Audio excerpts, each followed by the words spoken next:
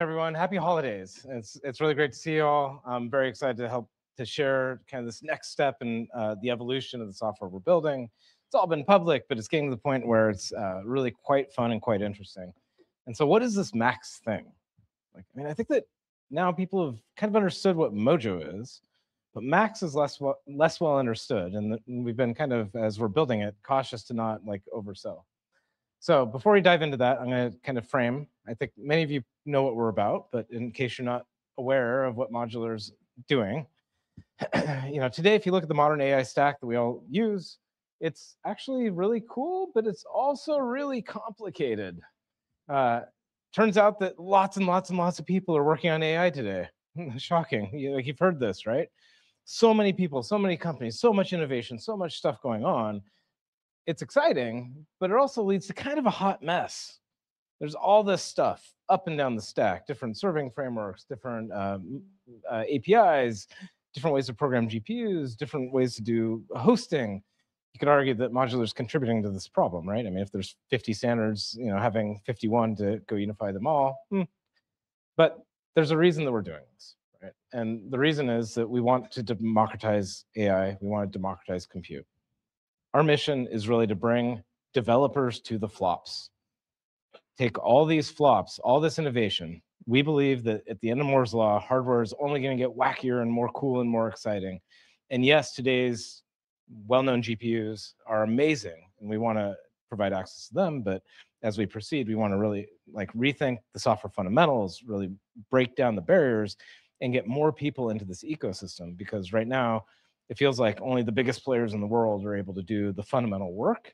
And we think that's backwards. We think the innovation comes from the little guys, the people with they're closest to the applications, the people that are pushing the boundaries, the people that are the hungriest. And they may not have $15 million to go train an LLM. So if you're curious, I've written some blog posts. I need to get to writing the next one, but we've spent a lot of time talking about Mojo. Mojo is a good thing. I'm very excited about it. We've talked about that a number of times, and it's a really good way to unify GPU programming and other accelerators. But AI is more than just GPU kernels, right? AI is a much more complicated thing. You get modeling, so notably with PyTorch. I assume some people have used PyTorch here. um, you, if you want to use it in production, suddenly you care about performance. And so there's a whole bunch of different ways to get performance, a lot of MLIR things, Triton, CUDA, lots of different ways to get performance, C++, Rust, lots and lots of things in this but we need AI is not itself useful in production unless it's fast.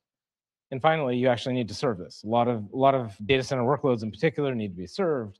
It turns out that when you get into this, you get into the complexity of serving lots of different users, and suddenly the problems compound. You get disaggregated workloads. You get a lot of a lot of problems that don't exist with just AI being a forward pass like it used to be five five six years ago. So what we've learned as we leaned into this is we said, hey, well, we're going to build this Mojo thing. We're going to build this cool way to get performance out of GPUs. Let's go use PyTorch. Well, PyTorch is a good thing. I think many people love PyTorch. I love PyTorch. But PyTorch wasn't really designed for Gen AI. It wasn't really designed for inference. And I think the world has also figured this out, right? We, I think we're not unique in noticing this. We've seen tools like VLLM and SGLang and many other tools kind of come in and try to help PyTorch because fundamentally what PyTorch was designed for was for traditional AI. It was designed for model training. It's, it's super important. But today's inference workloads are actually quite different. They're only getting more complicated. Getting the host and the accelerator to work together, super important. Um, and things like PyTorch were not really designed for that kind of a world. Um, as you lean into this further, and now you start caring about hardware, you start to realize tools and technologies like SGLang and VLLM, while they're awesome, they also like are really just a gigantic bag of custom kernels. If they're a gigantic bag of custom kernels, well, generally they get built for the industry-leading hardware. And then if you try to bring up a new chip, you try to integrate with anybody else, suddenly you run into this challenge of, well, okay, I, I can implement VLLM, but step one, rewrite all of the kernels for all of the models. And wait a second, that, this is not a reusable framework. This is a, very useful tool, of course, but it wasn't really designed for this modern era. So, you know, we've been working on this for quite some time, and we've been working on the different bits and pieces, and like innovating in the space is very complicated. But so today we're excited to introduce and reintroduce the Max framework. And so this is a fully new Gen AI native AI modeling, and serving framework, and it's built from the first principles for the modern world. Now, Max Framework being built from the ground up, like a lot of us have worked on a lot of these different systems, we're paying attention to all the cool research papers, we're seeing all the innovation that's happening, and we have the opportunity to build a next generation system. And so when you have the opportunity to build a next generation, generation system, well, first of all, you can bring the best ideas from everywhere. Like we're shameless. We'll take good ideas wherever they come, right? But I also feel a burden of responsibility because if you're going to do this, you should do it well. You should think about the implications. You should try things. And when you make a mistake, and we have, you should take a step back and fix it, right? You should be really deliberate about building a large scale system. And so with Max, you've got all the performance of graphs, because graphs are a great way to get high performance systems going, and it's really important for particularly modern workloads. We want to be easy to use. We want to provide lots of models. We want to have an amazing graph compiler. We want to make it easy to, to learn and, and for people to build into this e ecosystem. Turns out one of the best things about PyTorch is eager mode. That's amazing for exploration and discovery. And so you need a world-class eager mode, also the performance of graphs right? We want to be portable, of course. We want to take advantage of Mojo because I, I don't know, I think the Mojo is pretty cool. And uh, what we won't talk about today is that you know none of this technology is actually specific to Gen AI. This is where a lot of the pain is, and this is what we can use to justify building these tools. But if you want to do quantum computing or biochemistry or digital signal processing or anything else totally wacky and crazy, it's all about pushing around a huge amount of data and building and orchestrating compute and this, these tools and these techniques should be native and should be able to work for that, even though it's not modular's focus. So today, as Michael introduced, we're going to be talking and pulling back the covers on state-of-the-art graph compiler. And you, uh, Ferris will nerd out about MLIR internals and other cool stuff like this. And we'll learn how easy it is to program LLMs. And we'll talk about eager mode and how we're going to push the state of the art of the world forward here. I'm really excited about the deep dive talks we have later today. And so if you look, so today, Max covers this full spectrum. You can design and build models, which we'll talk about. You can get good performance, which we'll talk about.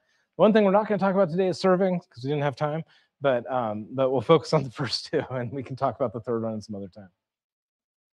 So one of the other cool things about Max is it's pervasively open source. And so if you go dive into our repository, you can see lots of different models and there's more all the time. This is this is something we're continuing to invest in. We're building it out. We're working with a lot of design partners and customers on this, which is cool. We'll have more announcements later. Um, you can find lots of kernels. And so I think we have the world's largest open source portable kernel library across NVIDIA, AMD, and now starting to turn on Apple, which is also really exciting and cool. We've got uh, the serving components, which we don't have time to talk about today, but they're all public. You can go check it out. And so make it super easy to build and, and distribute servers. And so we're, we're tackling this whole stack. And so one of the things we believe in is making this accessible. And so, yeah, you can pip install it. You can use Conda. You can do all the favorite tools, make it really easy to get up and running. And we want to make this super fast and easy. And we'll show that later. And so as you dive into this, again, like your, your curiosity is the only limitation to what you can do. And you can dive into the Mojo standard library or dive into kernels or modeling APIs and we've also said, of course, we're open sourcing Mojo uh, next year as well. And so this is all part of our big plan to like build into this and really push this entire ecosystem forward because we know the stakes are high. We know this is really important. We want to do and we want feel great responsibility to do this well. So that's my part. I think this is a really exciting time. I think the AI is so critical and important to everything we do. I want us to be pushing this forward. I want us to be relentless. I want us to be challenging the state of the art. I want us to be pulling in the best ideas from wherever they are. So if anybody has any questions, I'm happy to take them. Yeah. Thank you. I'm new to the entire Mojo ecosystem, and a burning question for me is, um, how's the support for the Windows environment? Windows is one of the things I'm sad we don't have great support. We do support WSL, and so that that exists. Um, uh, and so Mojo fully supports that and you can totally use that. We haven't had time to invest as much as I'd like into that. If you'd like, please do bug us about that and we can talk about it later. I, I would definitely bug you about it. I, yes. I, I'm, I feel like that's a very important missing piece in the industry. Yep, I agree. Uh, so this is actually complete news to me. Um, like, you know, I actually thought modular was just like building an acceleration layer. And uh, just seeing that it's much, much bigger than that uh, like the you know this event is great to get the news out, but the news needs to be out a lot more. Yeah, well, so so you're surprised we're building also an entirely new AI framework. Um, there's a reason we haven't been talking too much about it. Right. So first of all, is it's only now just becoming real. Right. We've been building the components and we've been using it. We've been talking about performance and results and deliverables end to end with this, and it's been very important. But I think now January, like we're coming together. It's like getting actually pretty good. Now we're not doing training. So people say, oh, okay, well, I'm not interested in that. and This, whatever, I just an inference thing, fine. Someday we will. so we'll get there. And this is this is part of the philosophy that I, I bring at least, which is um, doing really hard things takes time. And so you have to be careful. I think we learned that with Mojo 0.1. So You have to be careful when you kind of declare success because if people come in and it's not actually good, that's the impression that you'll make. And so we've been building in the open, and a lot of this stuff has been out there. But we don't, we even today we're like with y'all we're uh, sharing some of this stuff. But I think we'll make a lot more noise about this uh, next year as well. Nice. Thank you. I, I lost track of the evolution of the license for Mojo and Max and the whole ecosystem. And I'm nearing to a point that I need to start having convincing answers about where the license is going to be uh, in the future, right? I, I know it's a kind of an unfair question, but can you maybe share a little bit more how you would hope the license would unfold? Because I know it's free. Uh, we have to tell you that we are using it, but there's also the idea that if you're doing uh, using for inferences, there might be a, a charge later on or something like that. So something more about the license would be very helpful. Yeah. So um, so you're saying like basically how does modular make money? Yeah. Yeah.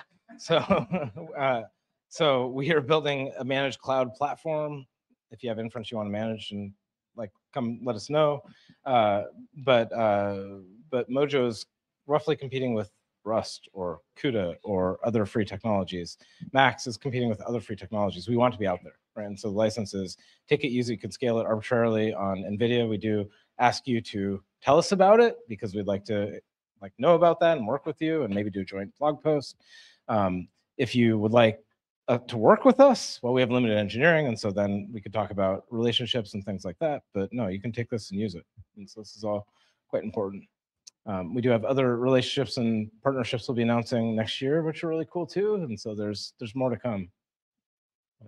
Um, I had a project where I needed training and I really liked being able to use Mojo for the kernel Yeah. stuff. And I keep hearing this sentiment. There was some stable HLO OIR thing in Zig that says the same thing. Oh, we're just inference. And I, I just, I'm at the point now where I have to make my own language because I, ha- I don't understand why does no one want to support training? You say it's hard, but uh, I don't understand what you mean when you say that. Okay, you're on to me. it, it turns out that uh, training is also matmuls. Turns out that again we're arbitrarily general. It turns out that even though modular again is underselling what we're doing, other people are using Max to do training. And so if you'd like to do training, go check out Nabla. It's a community project. It's super awesome. It does both uh, JAX style and PyTorch style training using Max. Today, Nabla, N A B L A. And so you can also ask us later. And so, yeah, so turns out that again, what we're trying to do is we're trying to like set expectations. There's a lot of people that have been very excited about what we're doing. And then I make the mistake of saying, yeah, and we'll do training. And then people are saying today. I'm like, no, no, no, no, no, I can't. We, we need to get some other things first. But but this is the great thing about community, right? Is that we modular people don't have to do all the work, right? You can go build that. You can go work with uh, Tillman and say, hey, like, uh, how about this? And what about this? Or whatever the, whatever your your jam is, and and go work on that. And it's just math, right? That's a beautiful thing.